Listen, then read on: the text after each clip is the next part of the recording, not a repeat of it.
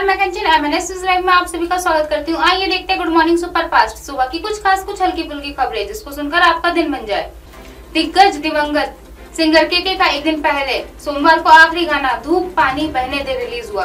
अब हाल ही में दिए हुए एक इंटरव्यू में वेटरन राइटर लिरिस्ट गुलजार साहब ने इस गाने में सिंगर के साथ काम करने के लिए अपने अनुभव के बारे में बताया। साथ ही गुलजार साहब ने ये भी कहा कि ऐसा लगता है कि केके आखिरी बार बस अलविदा कहने के लिए आए थे। गुलजार साहब का कहना है कि जब उन्हें डायरेक्टर श्रीजीत मुखर्जी की हिंदी फ़िल्म शेर दिल, द पीली भात सागा के गाने धूप पानी बहने पर केके के साथ काम करने का मौका मिला तो उनका दिल खुशी से भर गया था। कृष्ण कुमार गुनाथ को केके के नाम से जाना जाता था। उनका पिछले हफ़्ते तिरपन साल की उम्र में कोलकाता में एक कॉन्सर्ट के बाद कार्डिक अरेस्ट के कारण निधन हो गया था।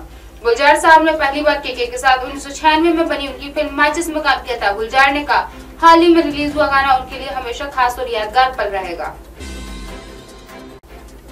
महाराष्ट्र में होने जा रहे राज्यसभा चुनावों में हॉर्स राइडिंग की आशंका को देखते हुए शिवसेना ने अपने सभी विधायकों को मुंबई के मलाड इलाके में स्थित एक रिसोर्ट में ठहराने का निर्णय लिया है। कुछ देर पहले दो बसों में भरकर करीब पचास विधायक मलाड के एक रिसोर्ट में पहुँचे। पार्टी सूत्रों के मुताबिक, कुछ ही देर में शिवसेना सांसद संजय राउत और मंत्री आदित्य ठाकरे उनसे मिलने के लिए पहुँचने वाले हैं। शिवसेना ने दिन के पार्टी के सभी विधायकों और कुछ निर्दलीय विधायकों को अपने बैग पैक कर मुंबई आने का फरमान सुनाया था। पार्टी की ओर से जारी आदेश में यह भी कहा गया था कि चार पाँच दिन के कपड़े लेकर आए।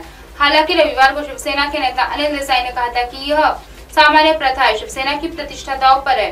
राज्यसभा चुनाव में शिवसेना की प्रतिष्ठा दाव पर लगी हुई है। पार्टी की तरफ़ से दो उम्मीदवारों को मैदान में उतारा गया इसमें संजय राउत की जीत लगभग तय है। ज्ञान व्यापी में सर्वे का आदेश देने वाले जज को धमकी। इस्लामिक संगठन के नाम से भेजी चिट्ठी लिखा हिंदू जज से न्याय की उम्मीद नहीं।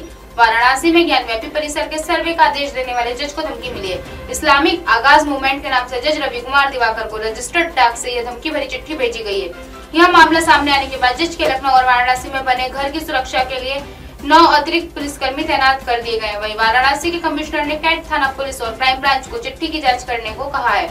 लेटर में लिखा, जज भगवा से सरोवर जज रवि कुमार दिवाकर ने दैनिक भास्कर को बताया कि एक रजिस्टर्ड लेटर मेरे पास इस्लामिक आगाज़ मूवमेंट नई दिल्ली के नाम से आया लेटर में लिखा है कि अब न्यायाधीश भी भगवा रंग से सरोवर हो चुके हैं। फैसला उग्रवादी हिंदुओं और उनके तमाम संगठनों को प्रसन्न करने के लिए सुनाते हैं। इसके बाद ठीकरा विभाजित भारत के मुसलमानों पर फोड़ते हैं। चिट्ठी में आगे लिखा है, आजकल न्यायिक अधिकारी हवा का रुख देखकर चालबाजी दिखा रहे हैं। आपने वक्तव्य दिया था कि ज्ञान व्यापी मस्जिद परिसर का निरीक्षण एक सामान्य प्रक्रिया है।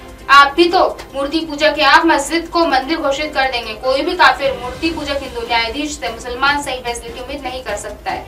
आज की खबरों को यही विराम देते हुए कल फिर मिलेंगे इसी समय इसी जगह। देखते रहिए हमारे न्यूज़ ब्रेक क्योंकि सच ज़रूरी है। नमस्कार।